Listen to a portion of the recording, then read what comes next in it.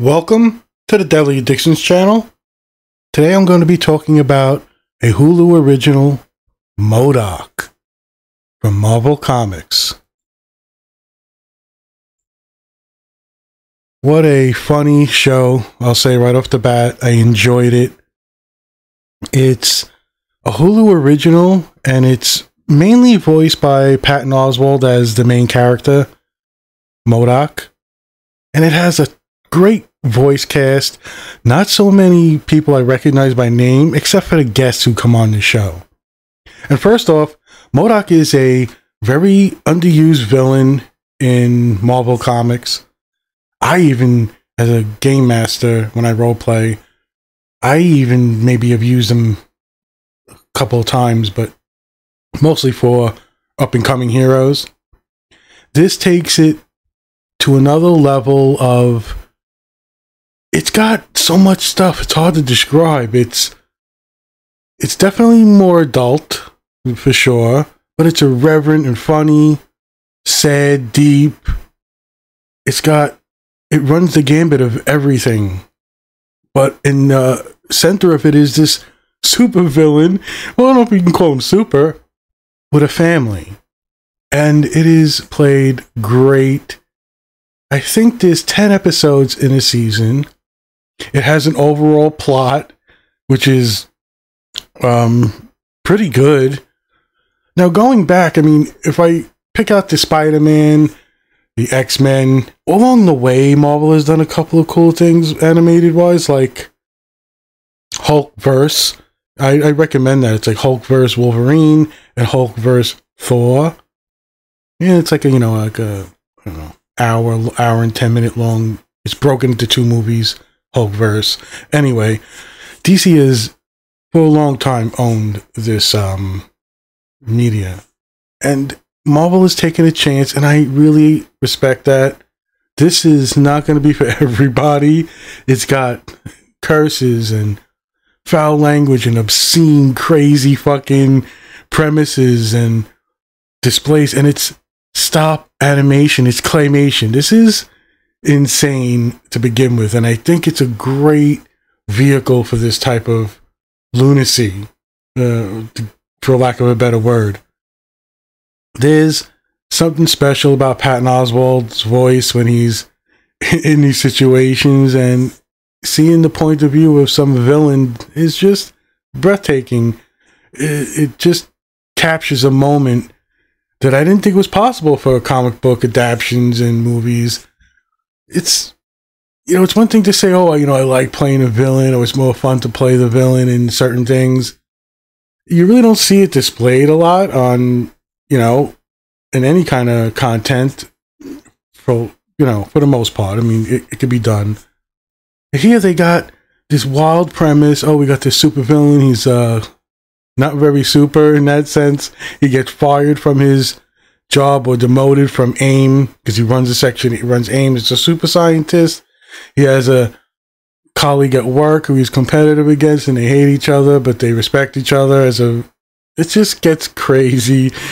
There's so much you can do to stop animation stuff, and the way they use it is just, it is fun as fuck. This show, I really appreciate what they did with um bringing in certain guests and some of the themes they touch on, and they go really crazy. The voice acting chemistry is on point. The voices sound really good for the characters. They interact awesomely, and you're not gonna get this um, wow special effects, but I can't help but enjoy this. I was really not expecting to enjoy this.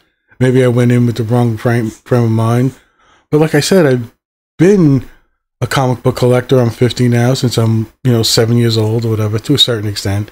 Played the games, I role play, I run the games as a game master. MODOK is someone you use sparingly here and there, keep him in the background, and it just elevates this character, and you get to really appreciate and you get attached to him in his life and his wife, his two kids, and they go off the chain sometimes. It's just like, what are you fucking doing here? and I find myself immersed and in, just engrossed in the show. I think when you look at the arc, also, it could be a really good plot. You know, if it with all the zaniness going on, you've got this guy. Like I said, he's uh, you know running AIM. It gets taken over or bought out or you know sold to a certain division. He gets all these new revelations about um you know what his position is in the company sort of thing he's no longer the leader but he's got these aspirations of taking over the world and he's like trying to balance this with his family and stuff but he's a idiot maniac it's just so wanted to see how they put all this together and even some of the concepts they put into the show tropey as they are work it's it's a great balancing act the show does. Like I said, it bounces from deep and uh, thought provoking to what am I fucking seeing? You know, what are they doing with these animations? This it just gets so out there that I found myself smiling so much, enjoying it every step of the way. Now it's not perfection, and I don't know if you can get perfection in a stop gap animation, whatever they call it, claymation type thing. But holy shit, this is not Rudolph the Red-Nosed Reindeer or any of those, you know, Heat Miser things, uh, fucking Frosty the Snowman. But who fucking thought of doing this? This whole concept is interesting to me. I want to actually look into it. You know, when it's developed, like what team came to you know, decide to do this. I think it had something to do with um doing something called the offenders, I guess to uh you know kind of go against the Avengers in a sense, but to just begin to describe some of the episodes and what they go through is in, is I don't know. Where do you begin? It's get so crazy with all the schemes that are going on. If it's not a new invention, if it's not uh, helping his family out, if it's not going through a divorce, if it's not losing everything, and like I said, it, there's not that many super guest stars, but Iron Man is a thing that comes back every once in a while. He considers him as like nemesis for some reason, but Iron Man's like, oh god, and it really hits home a lot of points well. I didn't expect it to. Um, music the goes well. It's not overbearing. I like the um the way they decided to go with this an- this animation. I don't know what do they call it. Is it just claymation? I don't think it's claymation. Is it? What do they call this fucking thing? Stop motion aspects of the series. Um, Anyway, I am really impressed. I recommend this wholeheartedly, but you want to get in the frame of mind that it's probably not for little kids. Hold on me if I I don't know. It's got gross, over the top, um, gore, themes, tropes. Its language at times is foul mouth to the extreme, but used well like I said, it's an irreverent, zany ride that I am glad I jumped on. And I almost didn't pull the trigger on this. And I guess a lot of it has to do with understanding that maybe there's a place out there for things like um, some of the Marvel stuff they've done, like their Spider Mans and their Hulks. They're not for me. They make me cringe. But I'm not here to say they're good or bad, and maybe they're for another, you know, age group or something. Like, I hear the Titans is good. They look like little Pokemon, little Teen Titans, but it's not for me. So maybe there's value in that, but I don't have confidence in Marvel's animated presence. It's history, except for, like I mentioned, of course, Spider Man in the 90s, X Men, and here and there. I kind of like things like X Men Evolution, but they don't really come across as um, you know, breakthrough animation. And great storytelling with adaptations like X Men was one of my favorites. And like I said, when you look at the um, uh, history of consistency, DC has been much better at it. I'll give gripes on some of the choices they made, and you know, I'm not interested in this storyline or whatever. But they mostly come to the table, you know, you're going to get something good. In the same case with Marvel Cinematic Universe, yes, there are uh, not very well done movies here and there, but they're enjoyable for the most part. You get confidence, unlike the DC movies where you're like, okay, even Wonder Woman 84, fun as it was, is not a fucking very good movie. But, but getting back to this, it's an animated show, stop motion, kind of claymation. You can get a little bit of detail in there that you're amazed at, and then just crazy look. You don't even know what's going on on the screen sometimes. These are super scientists, villains, inventors. There's a whole corporation aspect. You got new takeover, this plot and scheming going behind the scenes. You have a time traveling alternate fucking monkey wrench thrown into everything. And they use little cool things like for me like when I look at the show and I what I know about the comics, when I see Super Adaptoid being used as a a joke in a toaster in a car, it was funny, but it's not what you would see. Super Adaptoid might be the most dangerous, powerful character on the show. Although they do go to Asgard and things like that. But at the heart of this is his family and his interactions and as irreverent and foul mouthed and as evil as he is, it is fun to watch. He's got his partner nemesis at the AIM Corporation. That she becomes the super scientist. And there's people dying, experimented on. You, you can't, you have to give the show a shot to even understand the concepts that it's doing. It's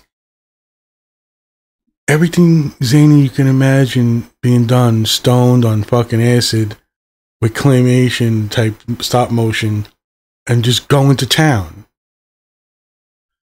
I'm not sure about the release of this. This is not something I did a super deep dive on. As I said, I wasn't even sure I was going to be interested in watching it, but I'm curious to know where, this is going.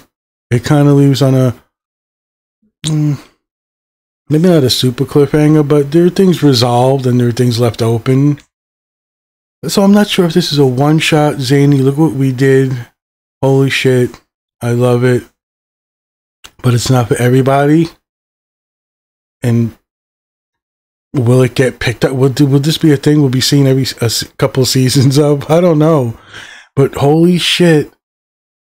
So much fun and enjoyment in this.